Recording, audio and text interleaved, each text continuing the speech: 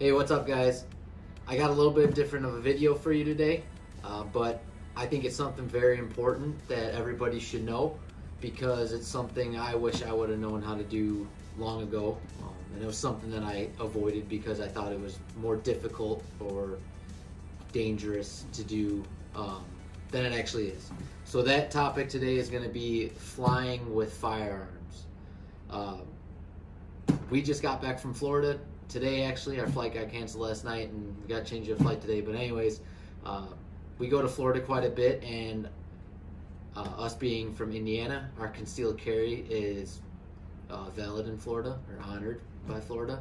So I always fly with firearms there. Uh, makes me feel a lot better going on vacation, knowing that uh, I'm not going to be a victim of a circumstance.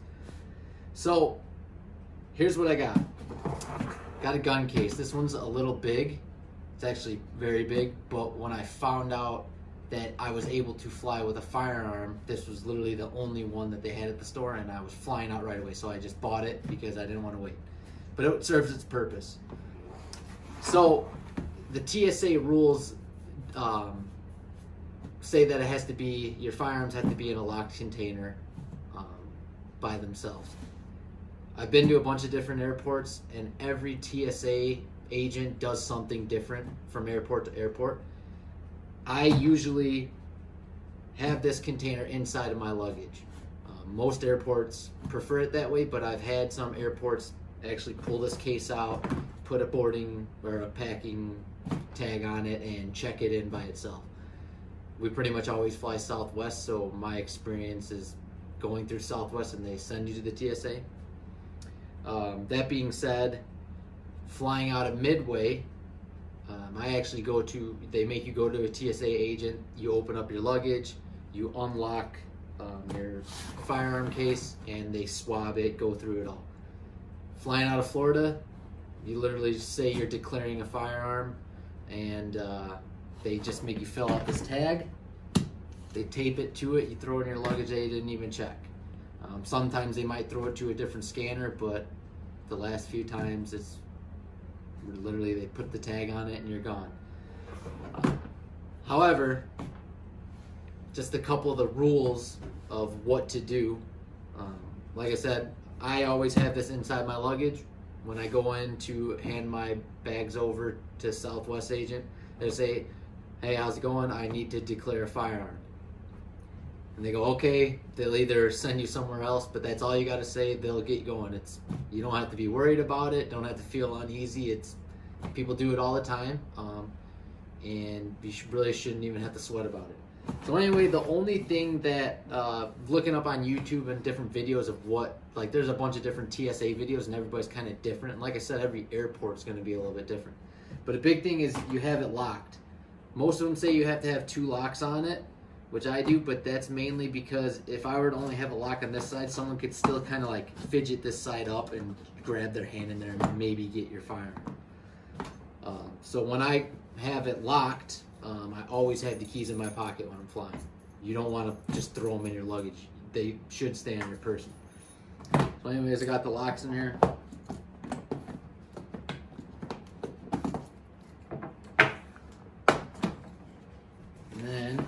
Since I have such a big case, I carry two firearms. Really, the only stipulations that they say are that they need to be unloaded and ammo in um, its separate container. I just have the old Hornady boxes that I keep, so I just throw the ammo in here. I have the firearms unloaded in my holsters. I bring extra magazines with their holsters. Um, and they're unloaded, but honestly, that's all they do. They don't check. It's not like I'm going to the gun store and the TSA agent is racking the gun to make sure it's not loaded. Um, I guess they honor that for you, well, at least for me. Um, they've never checked it, but literally in Florida, they never even look inside of it. I don't know what they do uh, after it gets out of my hands, but I've never gotten a tag saying that they've opened it up. But in Chicago Midway, I have to open it up. They swab it, and that's pretty much it. They don't, like I said, they don't look at the firearm, see if it's unloaded, anything like that. Uh, that's pretty much it. So, like I said, after that, I would lock it, throw it in my luggage. Um, but you don't have to be stressed out about it, and you don't have to think too much of it. It's it's super simple. I've never been felt, um, you know, like uneasy about it. Everybody makes you feel super comfortable, like it's something normal, which it should be. Um, there's no reason why we shouldn't be able to fly state to state um, and have our Second Amendment rights um, acknowledged. Pro tip not sure, I haven't had to use this one yet, but what I do is I always keep a copy of the U.S. Constitution in here. So if someone ever asks me, you know, why I'm doing it or why I should be allowed to do it, I just point them to the Second Amendment right here. Um, and, and what the Second Amendment of our Constitution says is a well regulated militia being necessary to the security of a free state the right of the people to keep and bear arms shall not be infringed. Like I said, I haven't had to use that, but if I have a TSA agent um, ask me about it, I'm just going to pull out this pamphlet. So hopefully that gives you guys a little bit of insight. Um, like I said, I feel a hundred times safer flying with my firearms, um, especially when you get to your destination in the United States. Um, I could carry it, go on with my life. I know that I'm able to protect myself and my family. Um, and like I said, go about my life. Before you fly anywhere, uh, just make sure that you check on what kind of tyrannical uh, gun laws they have in that state you're going to um, and see if your concealed carry is even valid in those states. Um, USCCA.com has a lot of good info on stuff like that. Um, I have a CCW app that you know, you punch in your permits and they'll tell you what states you're good in. But it's always very smart and important to, you know, make sure you're not uh, breaking any laws, you know, carrying a firearm in another state. One last thing to remember is when you get to where you're going, since this will more than likely be inside your luggage, it's just going to come out on the carousel like normal luggage. Um, so you you know, I like getting there right away and making sure that it can't get in the, you know, the wrong person's hand.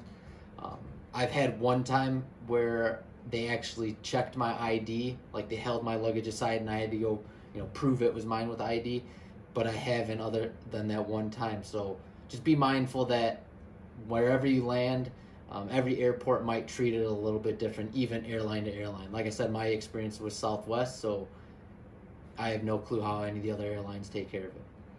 Um, but that's really it. Um, super simple. Hope this is uh, helpful for you. Uh, get you wanting to be able to fly with your firearms to protect yourself wherever you go on vacation, business, whatever. Um, that's pretty much all I got. Leave me a comment, subscribe, whatever you guys want to do. I appreciate the uh, watch. And just remember, stay strapped or get clapped.